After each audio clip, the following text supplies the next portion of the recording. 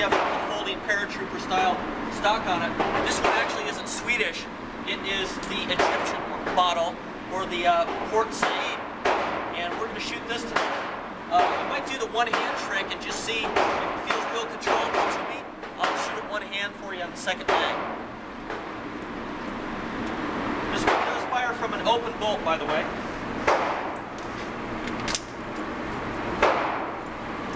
And here we go.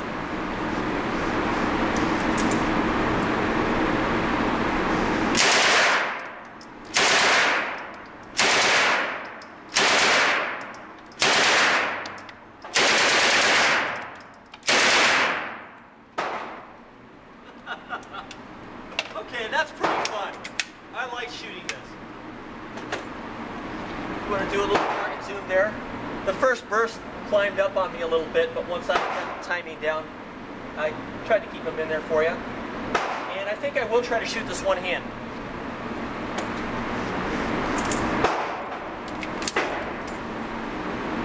Okay, here we go.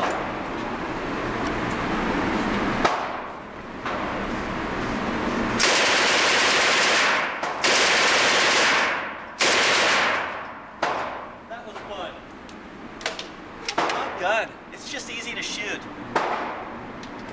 All right. Next man.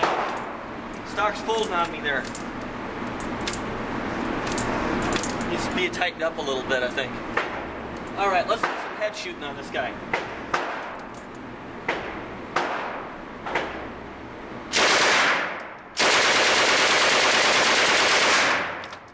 All right. Very cool stuff. That was fun.